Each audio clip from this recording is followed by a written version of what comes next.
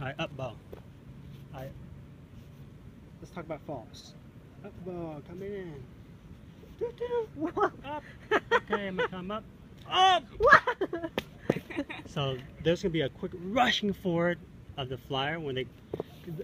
Essentially doing this on someone's feet. This position. This is called bow, right? Yeah. And if the feet aren't right or the, the flyer isn't controlling the position, the torso is going to rush back towards you really violently, really quickly. Your head's could butt.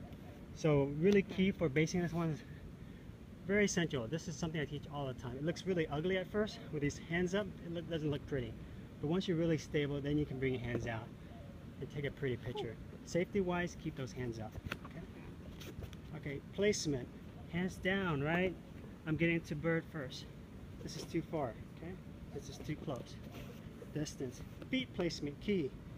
So usually where my, for dudes, where the pants meet their shirt is where the hip bone is. For this one, I recommend that the feet go a little higher because you're controlling a lot of their upper body weight with this position with your toes. So with the hip bone for this one, usually I say the ball of the feet, the middle of the foot for this one here. Middle of the foot there. And not wide like that, bring it in. Closer in is better, okay? You'll be using your heels. toes a lot to press up. And your heels will be aligned with their femurs. Mm-hmm. Deep breath in, I'm gonna come in. She's gonna bend a bit. We're gonna come up to bird. Okay, uh, we'll try to keep our wrists underneath our shoulders here. Okay, I'm gonna try to come up and grab my feet.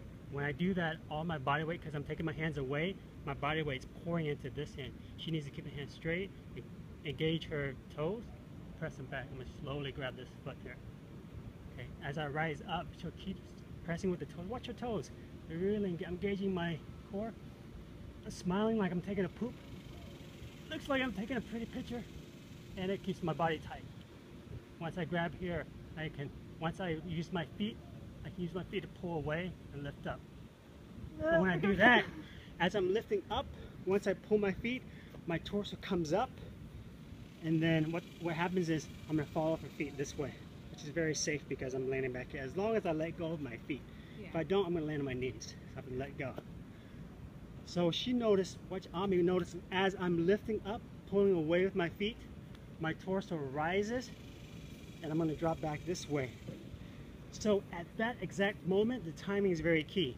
When she starts feeling my body lift, she has to ease off the gas again and keep her feet flat.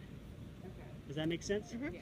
Because at first you want to raise my torso up, but once I grab my feet and pull away, I'm lifting my own torso up. You have to ease off the gas, keep it flat again. Okay, again.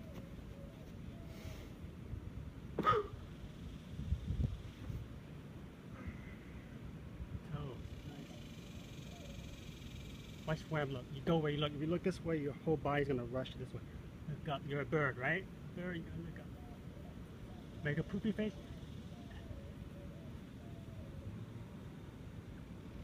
Watch this. As I raise, then she can ease off. And the slower I lift up, easier it is for her to adjust.